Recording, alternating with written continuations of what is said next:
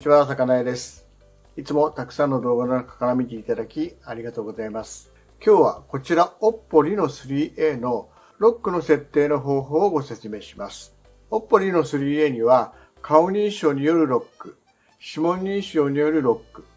あと数字のパスコードによるロック、3種類のロック解除の方法があります。このロックをかけておくことによりスマートフォンが安全に使えますのでまだ設定してない方は、ぜひ最後までご覧ください。このチャンネルでは、Oppo Reno 3A の使い方の再生リストも作ってあります。これから購入を考えている方、また実際にもう使われている方は、とても参考になる動画をたくさん作ってありますので、ぜひチャンネル登録もよろしくお願いいたします。それでは本題に入ります。スマートフォンのロックがなぜ必要かということなんですけども、万が一こちらのスマートフォンを落としてしまった時にロックがかかっていないと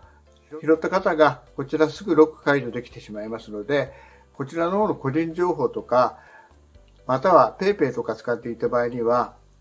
PayPay を使われてしまうとかまた一番怖いのはクレジットカードの情報とかそこら辺が取られてしまうことだと思います。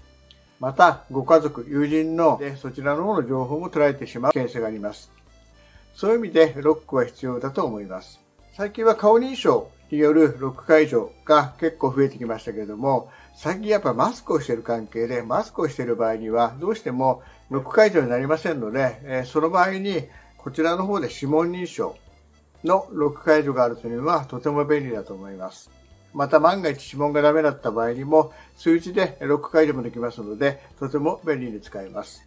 それではまずロックがどのように解除されるかというのをやってみたいと思います。今、ロックがかかっている状態で、後でこれをご説明しますけれども、私はですね、この画面を2回叩くことによって、まあ、このようにロック解除の画面、指紋でロック解除するとか、このパスコードでロック解除するとか、こういう画面になるように設定しております。ではまず顔認証からやってみます。カメラで今撮影している関係で、前にカメラがあるんですけども、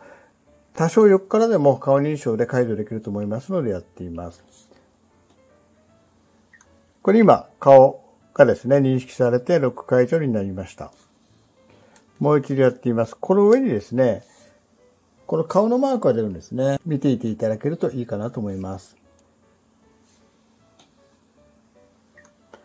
こんな感じで解除できます。次に指紋認証のロック解除をやっています。Oppo Reno 3これ顔が今働いちゃいましたね。Oppo Reno 3A の場合は、ここに指紋のですね、センサーがありますので、ここに指を置きます。そうしますと、このようにですね、ロック解除ができます。あと、パスコード、数字ですね、によるロック解除をやっています。この状態でこの画面を上に引き上げます。そうするとですね、ここに、今顔で認識してしまいました。すいません。そうするとですね、ここに数字、えー打ち込むとこ、数字がですね、打ち込む状態、そうしますとですね、ここに数字を打ち込め、そうしますと、そうしましたら、ここにですね、設定した数字を打ち込みます。そうしますと、このようにですね、ロック解除ができます。えーまず先ほどの顔とか、えー指紋、あと数字もですね、一応今全部オフにしました。今、ロックがかかっていない状態です。ですから、これで、スマートフォンをですね、こういう風にスライドしますと、この状態で誰でも使える状態になっています。では設定をやってみます。設定を開きます。えーそしてこちらの方にですね、ロック解除方法というのがありますので、こちらをタップ。そしてまずですね、ここでパスワードを設定をします。そしてですね、えーここに注意があるんですけども、端末ロック解除方法に使用、解除に使用されますと。パスワードを忘れた場合は、端末をですね、工場出荷時の設定に戻してリセットして端末のデータをすべて消去する必要があるということで、ここで決めるですね、4桁以上のですね、パスワードは、えー忘れないようにしてください。それ続行。あと、ここでですね、えーここにも書いてありますけれども、ここのパこのパスワードは忘れないでくださいというふうに書いてあります。それで、これ6桁ですね。それもう一度同じ数字を入れます。それでですね、えー次に指紋を追加しますかというふうに出てきますので、ここで指紋を追加します。追加。それでここでですね、サードパーティー製のですね、画面保護シートがですね、指紋認識に影響する場合があるということで、まあ、特にこれは大丈夫だと思いますので、OK。そしてですね、センサーに指を置いてくださいということで、ここの部分ですね、に指を置きます。とこんな感じでですね、出てきますので、繰り返し置きます。多少ずらす感じがいいんでしょうかね。それで今指紋のですね、縁ですね、を登録しているということで、ここで完了ですね。で別の指紋、これ5本まで確か指紋が追加できるんですけども、例えば人差し指と中指と薬指とかですね、反対側の親指とか人差し指っていう風にもできるんですけども、とりあえず1本だけ入れてみます。完了。そしてですね、ここでですね、指紋と入れますと、先ほどのですね、数字のパスワード聞かれますので、それを入れます。そうすると、ここに先ほど追加してですね、指紋1というのが入ってきています。で、これですね、名前を付けておいた方が便利ですので、というのは、例えば5本の指を入れたときに、ここにですね、指紋1、2、3、4、5と入っていた場合、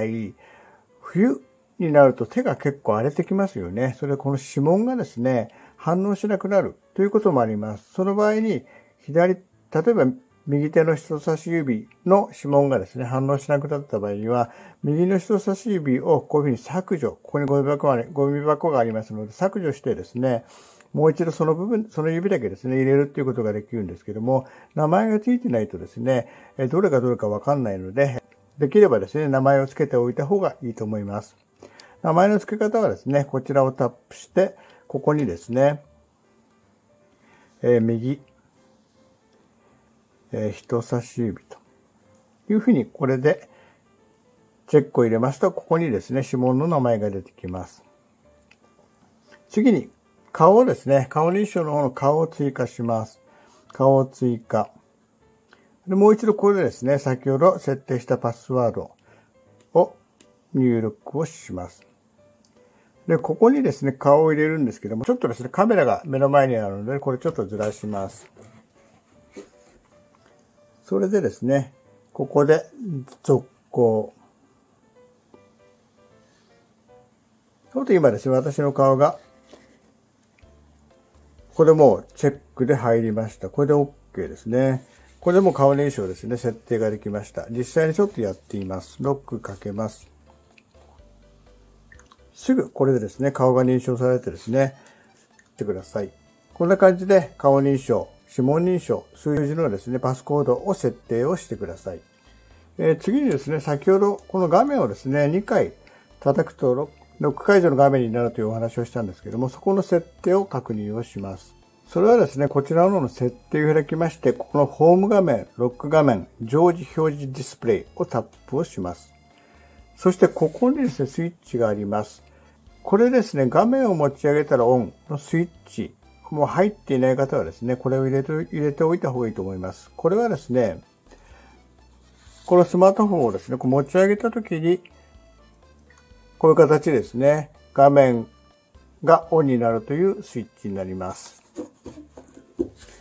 そしてですね、先ほどお話したのが、このダブルタップして画面をオンというスイッチです。こちらをオンにしておきますとですね、ここを2回叩きますとですね、このように画面がオンになるというスイッチになります。こちらをね、設定しておくと便利かと思います。はい。ということで、今日は Oppo Reno 3A の3種類のロックの設定をやってみました。このチャンネルではスマートフォンの使い方、格安 SIM の使い方、また初心者向けのスマートフォンの動画等々いろんな動画をアップロードしています。ぜひチャンネル登録もよろしくお願いいたします。それではまたありがとうございました。失礼します。さようなら。